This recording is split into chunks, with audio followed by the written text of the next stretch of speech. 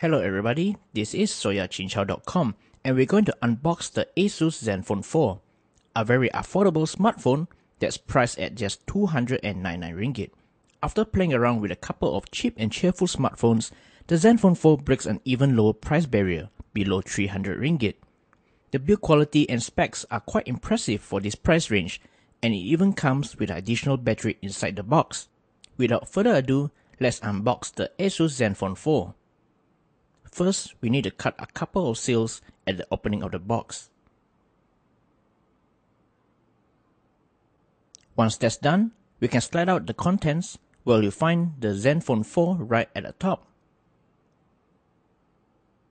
So this is the white color version. Let's put it aside first. After opening the top flap, you'll find a bunch of warranty and other user guides which you probably won't read.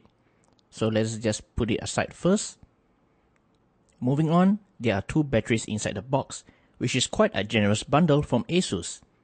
The battery capacity is quite small at 1200 mAh, but it is a good thing that provided a spare in Malaysia. Next, you'll find a 3-prong charging adapter, which comes with this folded middle pin for a more compact design. In terms of output, the charger is pushing about 1.35 amps, which is better than most chargers for entry-level devices. And finally, you get a micro USB charging and data transfer cable, which is pretty standard. And that's it, and there's no set of earphones provided in the Zenfone 4, which is quite okay considering its price range of 299 ringgit. So this is the Zenfone 4 in white color, and let's unwrap the device. At the back here, they included an illustration to show you how to open the device back cover. To open the back, you just need to use your fingernails to pry open the back like this. It is quite tough to open it, but probably it gets easier after time. Once it's open, you'll find a microSD slot at the top over here, which supports up to 64 gigabytes. Meanwhile, the dual SIM slots are placed at the sides and it uses the newer micro SIM format. Alright, so let's try to switch it on by popping in a battery into the Zenfone 4. The battery is wrapped quite tightly like a tin of chocolate wafer. Let's see, try to get it out. And here it goes.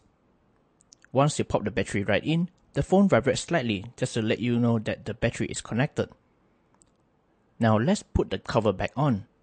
And you have to press around every corner to make sure it fits in properly.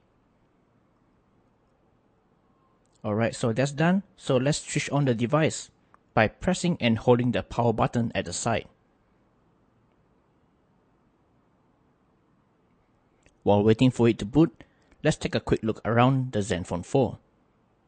On the right side, the power button is placed at the top, while the volume rocker is located right below it. Turning to the front, the bottom piece stands out with this Zen diamond cut design which comes with circular patterns. And you also get the back, home and contextual capacitive buttons at the front which isn't illuminated. The back comes with a 5 megapixel camera with a flash, but it is capable of shooting 1080p HD videos. The micro USB port is on the left side and there's nothing else at the bottom except for a hole for microphone while at the top you'll find a standard headphone jack and that's pretty much it.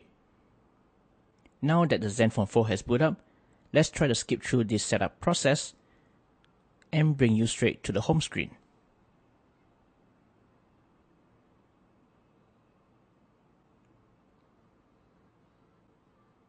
So that's it. This is a quick unboxing with the Zenfone 4. And we kinda like this matte surface at the back. And stay tuned for a hands-on review later on. Thanks for the likes, thanks for the comments, and don't forget to subscribe to our channel. This is soyacincau.com, and see you guys later.